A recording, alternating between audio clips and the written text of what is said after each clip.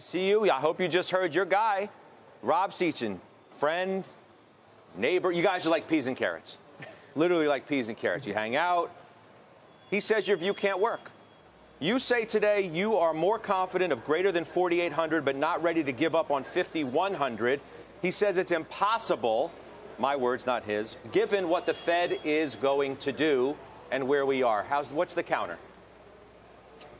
Well, I mean, I think the counter is if we end up with a growth scare, um, and today's jobs report is tracking towards that, that economic activity is softening up, but the underlying fundamentals are strong enough for us to not have a recession.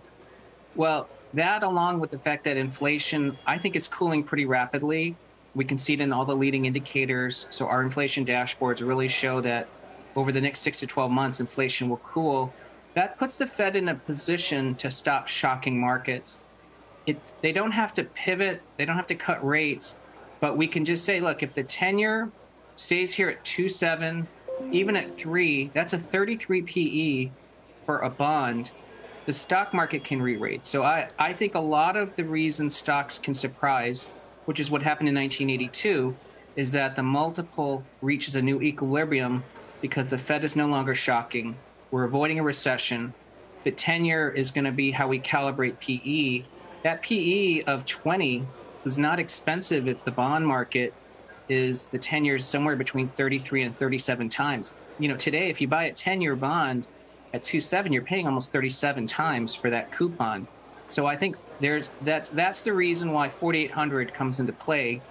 Um, in fact, I think our technician Mark Newton thinks that there's greater than a 50% chance that you're you're well above 4400 in fact it's it's you know somewhere between 44 and 48 is where he thinks we end the year and again it's not because the fed has to cut it's just that we've got you know higher rates baked in it's the shock to markets that's going to matter i know but the, the p only works if the e earnings remain at minimum where they are now if not higher than where they are now. You can't have earnings go down and have the P still work, can you?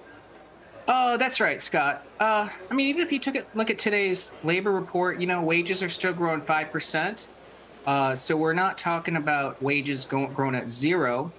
And nominal GDP, you know, came in in the first half over 8%. So let's say it's, you know, still 6, 7, 8%. That's still enough for companies, as long as they're not hit by bullwhip effect and inventory corrections, to generate double digit earnings growth. So I, I would say part of our view is that the 2023 EPS numbers, which are maybe at 245 now, they don't have to come down to 200. They might go to 240, but you know that's two and a half percent off the highs. It's not like E fell so much that you got to take the S&P down to the 3,000 level that so many are talking about.